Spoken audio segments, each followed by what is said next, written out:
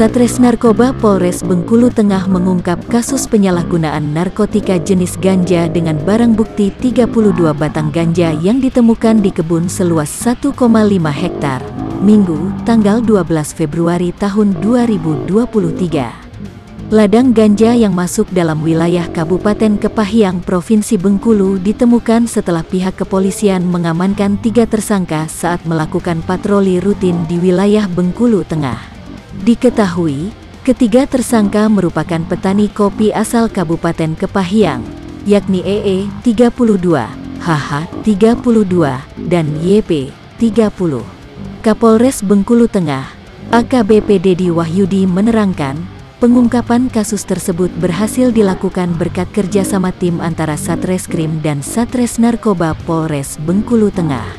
Pada Minggu, tanggal 12 Februari tahun 2023, Sekira pukul 4 waktu Indonesia Barat, tim Opsnal Satreskrim mengamankan tiga orang terduga pelaku pencurian sepeda motor. Saat akan diamankan, salah satu pelaku melemparkan bungkusan ke semak-semak, ujar Kapolres saat jumpa pers. Senin, tanggal 13 Februari tahun 2023. Setelah melakukan pencarian, ditemukan bungkusan yang dibuang salah satu pelaku merupakan narkotika ganja siap edar. Ketiganya pun langsung diamankan ke Mapolres Bengkulu Tengah dan saat diinterogasi EE mengaku ganja tersebut miliknya sendiri yang didapat dari kebun kopinya sendiri, ungkap Dedi. Kemudian, Satres Narkoba Polres Bengkulu Tengah yang dipimpin Ibtu Sugiharto pun langsung menuju lokasi yang disebut kebun milik EE tersebut.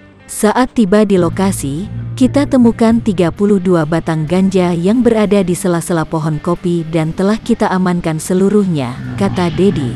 Saat ini ketiga tersangka masih harus mendekam di rutan Polres Bengkulu Tengah untuk dilakukan pengembangan. Kita masih mendalami kasus ini, bagaimana metode penjualan, sasarannya, hingga sudah berapa kali mereka melakukan transaksi, ujar Dedi Wahyudi.